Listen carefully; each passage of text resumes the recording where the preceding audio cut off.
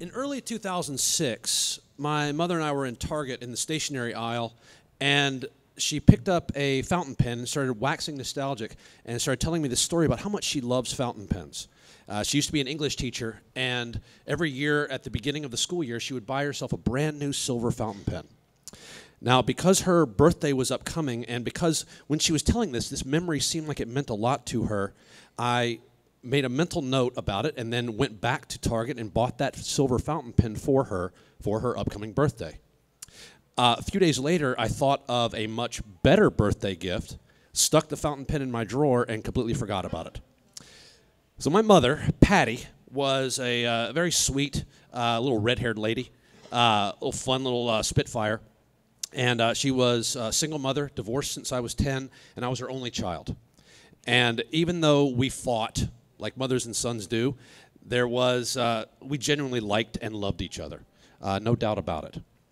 Now, what I'm about to say, I don't want to affect the tone or the mood of this story, but uh, the reason that this birthday was so significant was the fact that it was going to be her last. And we knew this beyond a shadow of a doubt. A few months earlier, she had been diagnosed as terminal, given six months to a year left to live, and she asked me to come home and help her through it. Uh, I said yes. I turned down a dream job that I'd worked really hard to get that was about to start in a few weeks, and I went home to live with her for what would ultimately be her final five months. When I got home, we made a verbal agreement to each other that we both knew this was going to be very difficult, but we decided that we said out loud to each other that we were in this together until the end, that we had to make the best out of whatever time we had left. And because this was her last birthday, I wanted to make sure that it was perfect. So I thought to myself that the gift I'm going to give her needs to be handmade. That's going to be a lot more uh, from the heart. But I had no idea what that was going to be. So one Saturday morning, I went to a Michael's craft store, got really stoned in my car, walked inside, and discovered scrapbooking. It was awesome. I bought myself a beautiful Kolo book. Uh, I got a bunch of construction paper, a couple crinkly scissors, you know, the works. Uh, went home, locked myself in my room, went through 35 years of photographs, and when I emerged, not to use a Trump like level of hyperbole, but it was the greatest scrapbook that had ever been made. Now, the day of her birthday arrives and we do everything that her heart desires. We go to the beach, we look for seashells, we go to her favorite restaurant, and she loved the scrapbook as much as I hoped she would.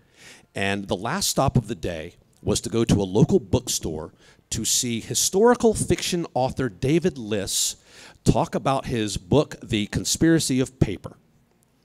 Now, to be very honest with you, I had absolutely no interest in watching historical fiction author David Liss talk about his book, The Conspiracy of Paper. So, right as we were about to walk in, my phone rings, and it is one of my best friend's uh, former coworker who was calling me. Patty was cool with the fact that I took the call, and she went inside to go watch David Liss talk about his book, The Conspiracy of Paper.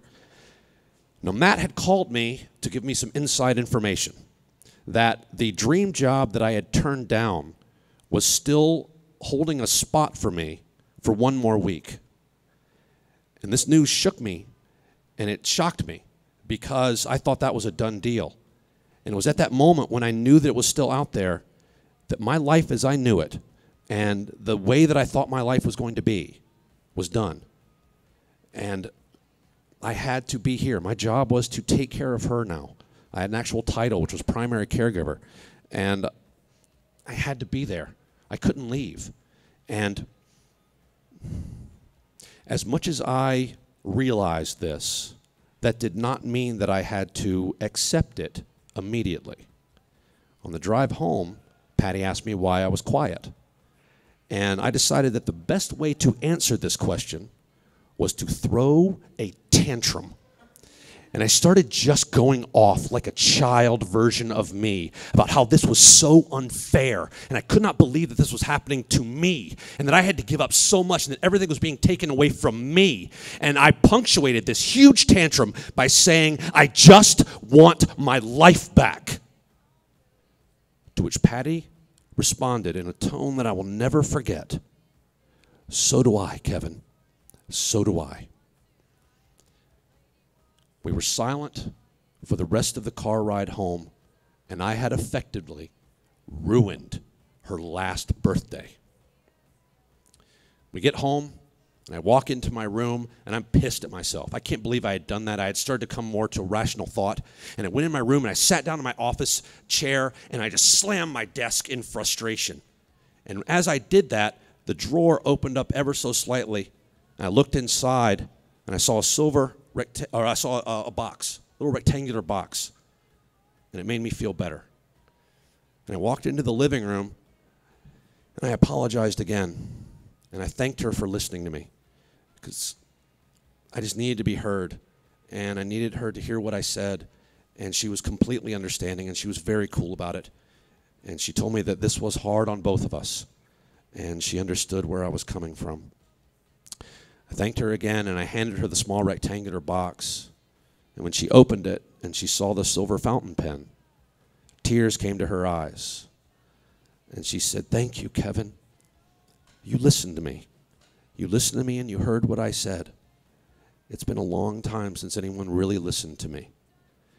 We hugged, and I reminded her that we were in this together. And even though I had done my best to ruin her birthday, because we listened to each other and heard what the other had to say, her last birthday was, as I hoped it would be, perfect. Thank you very much.